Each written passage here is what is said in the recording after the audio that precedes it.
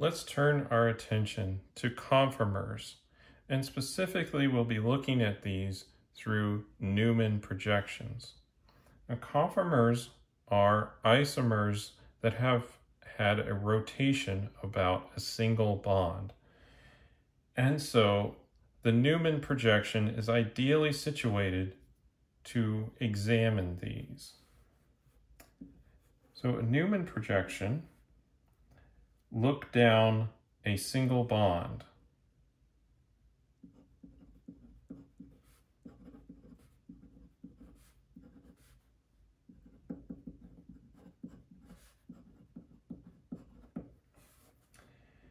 And we draw the near atom as a point and the far atom as a circle.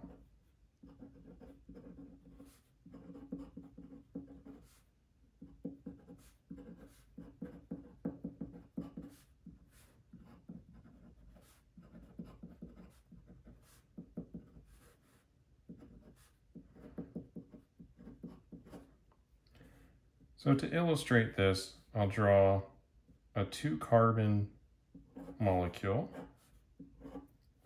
And this is the bond that we'll be looking down. So we're going to rotate this so that it's uh, so that we're looking down that bond.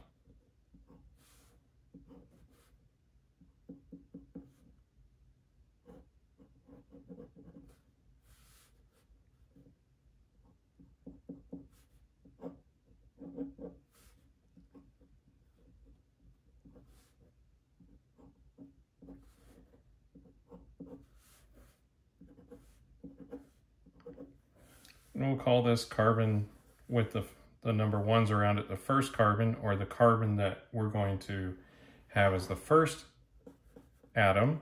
And then the second one will be the carbon that has the circle. So when we draw these, it looks something like this. We draw the first atom as a point, and then we draw the bond connections to it.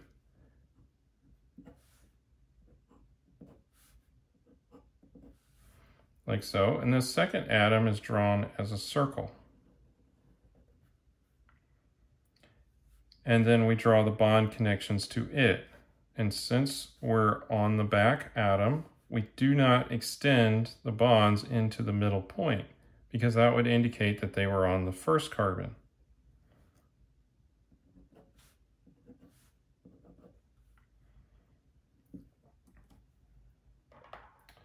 Just as another visual to this, I have a model kit here. And we can call this our first atom, which if I rotate it kind of like this, let's see here, yep, about like that. Then you can see here's carbon number one, there's carbon number two.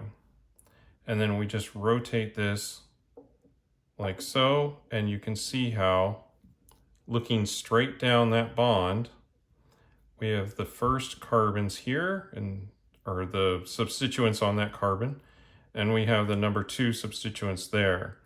And you can kind of see how that lines up there. So again, we're looking straight down this middle bond right here. And so we do not draw that bond because we're directly on top of it. Just like, as you can see here, as I'm holding it such that the camera is looking straight down this bond, you cannot see the bond right here. Same kind of concept. So, now that we have that, let's look at some situations where we would use a Newman projection to look at something that is actually different because there's not that much that can be different when all of the substituents on each carbon are the same. And while we're looking at this, I'm going to bring up a concept called the dihedral angle because I'm going to draw several of these Newman projections that have different angles on them.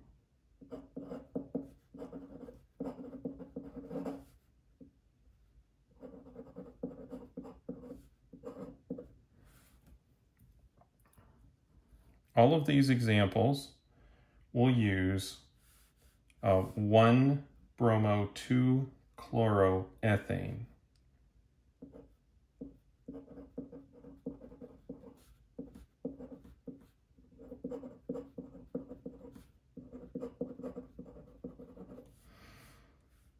And I will just draw the Lewis structure for that.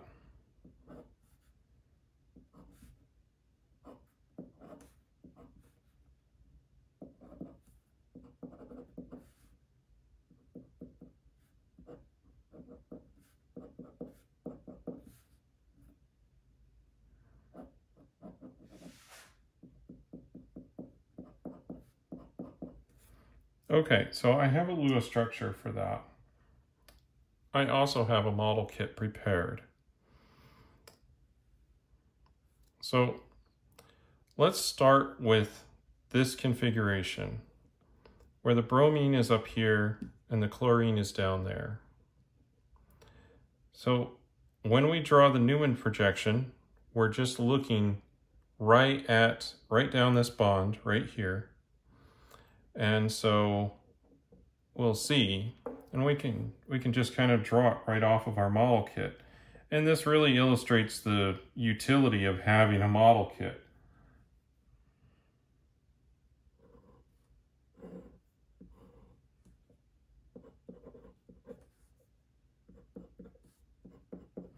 So here's our first atom with the point in the middle. We have the bromine and then the two hydrogens the atom behind,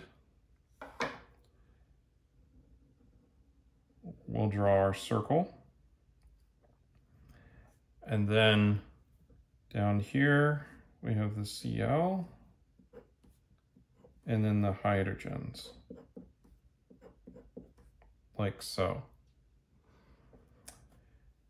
This is said to have an ang dihedral angle of 180 degrees. You could consider it either positive or negative, just depending on which way you're rotating this. Now, let's try rotating this a little bit like that. So now, this bromine is directly in front of that hydrogen, and this hydrogen is directly in front of that chlorine.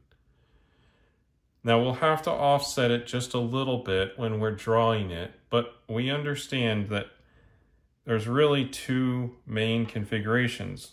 The one where it's in between, that's called staggered, or there's an eclipsed configuration. And I'm going to draw one of those eclipsed configurations now. I'm not going to move our bromine from that position because it keep it'll help us keep track of what we've drawn.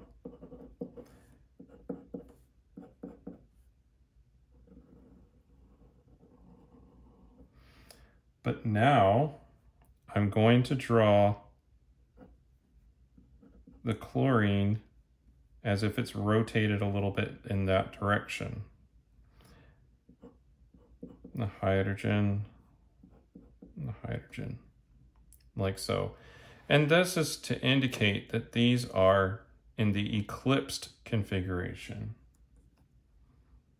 or an eclipsed configuration.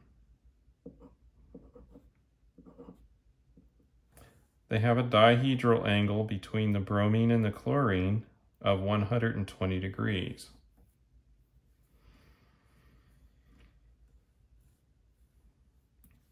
Next, we could continue rotating this around so that now we're back into a staggered configuration. So let's draw that.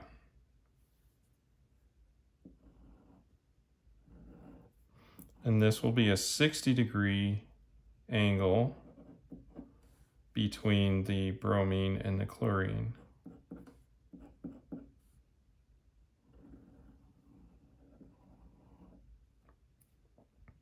So we draw the bonds again in the middle. And generally speaking, you're either drawing an eclipsed configuration or a staggered configuration.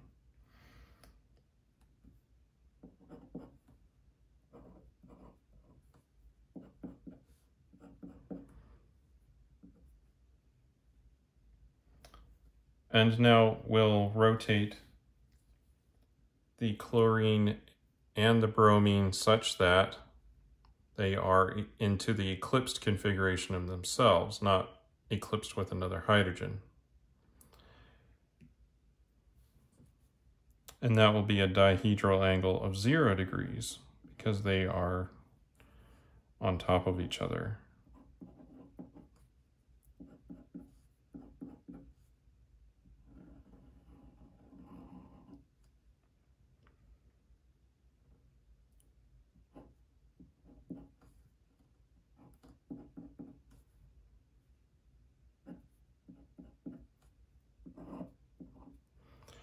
Now we could continue drawing another 60 degree Newman projection where the chlorine has rotated over into this position and then back into an eclipsed with that hydrogen and then finally back to our anti-configuration here.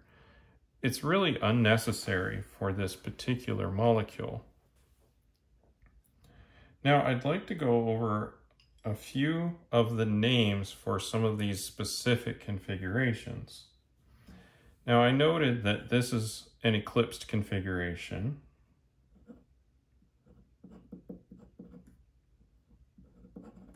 And this is also an eclipsed configuration.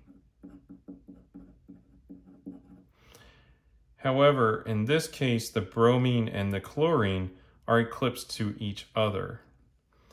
And so we could say the bromine and the chlorine are eclipsed. Here, it is an eclipsed configuration for the molecule, but the bromine is eclipsed with a hydrogen and the chlorine is eclipsed with a hydrogen.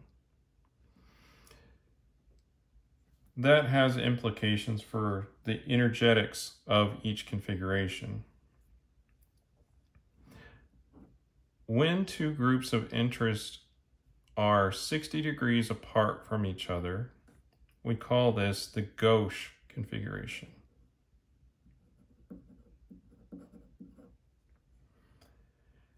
And it's part of a broader category, which is a staggered.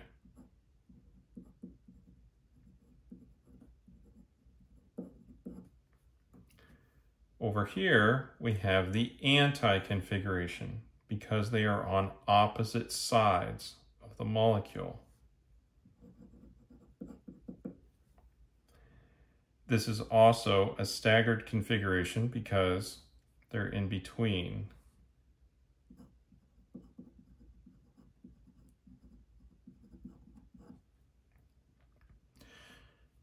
Next, let's just briefly look at the energetics of each of these configurations. So I'll put it back into the anti-configuration and we'll talk about what's going to happen. In this configuration, all of the atoms have a little bit of space.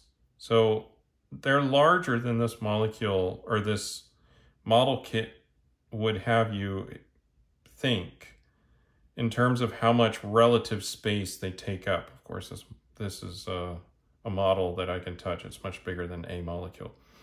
But the the space that this hydrogen takes up is is much bigger than this little white ball is. And this bromine is much, much larger. Bromines are quite a large molecule. And chlorines are fairly large too. And so in this configuration, where they are anti and it's in a staggered configuration, it has the lowest energy possible because things are not bumping into each other. The electron clouds have room in this configuration. So this is the lowest energy configuration to put the largest groups anti of each other because essentially you put them on opposite sides of the molecule. They will not, the electron cloud from the bromine and the electron cloud from the chlorine will not run into each other at all. When we rotate this such that we have an eclipsed configuration, this bromine will start to run into that hydrogen, and this chlorine will start to run into that hydrogen. And these hydrogens will run into each other a little bit, although significantly less than the bromines and the chlorines will. That will raise the energy of this configuration higher. We could relieve some of that by moving into the gauche configuration. But this is higher in energy than the anti because we're starting to interact the chlorines and the bromine. And those are larger atoms. So they will take up more space. And so while this is the lowest energy level or energy configuration, this is the next lowest. So I'll just say this is number one, this is number two in terms of energy, it's, it's higher. And then when we start to get to an eclipsed, but configuration, this is higher than the gauche. But then we could go into the what you might call totally eclipsed, where the two very large pieces of the molecule, atoms in the molecule, are eclipsing each other. This will be the highest energy it will be difficult for the molecule to stay in this position because the electron clouds are going to run into each other. Uh, and especially since they're two very large atoms. So what you may see happen more often is, of course, this bond is free to rotate. I mean, I say free because there's no bond, double bond, keeping it in position but there's kind of a bumpiness to it. So every time I get to an eclipsed portion, that's a much higher energy configuration. Then when I'm rotating it here, that's a little lower. Then I have another bump, but not as high because I'm looking at a smaller atom on the other side of the bromines and chlorines. And then I get to my anti-configuration. This is the lowest energy configuration. And if I keep rotating around, now we're back into an eclipsed, that's higher. Into a gauche configuration, that's a little lower than the eclipsed. And then much higher would be eclipsing the two large atoms. So you may end up seeing this kind of bounce back and forth like so. And sometimes it might go all the way around, but if you have a big enough molecule or big enough atoms here, you can get it to where the barrier to rotate over, like to get into that eclipsed configuration where the large parts of the molecule are running into each other is just too high or it's blocked somehow because they're they're just too big to pass each other. And then you can have uh, some interesting molecules come out of that. So this is just a look at conformers and looking at Newman projections and dihedral angles and energy configurations of those dihedral angles. So a lot packed into this video, but thank you for joining me and we'll see you in the next video.